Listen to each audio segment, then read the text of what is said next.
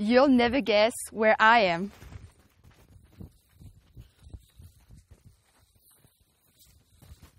New Mexico, the land of enchantment. Woohoo!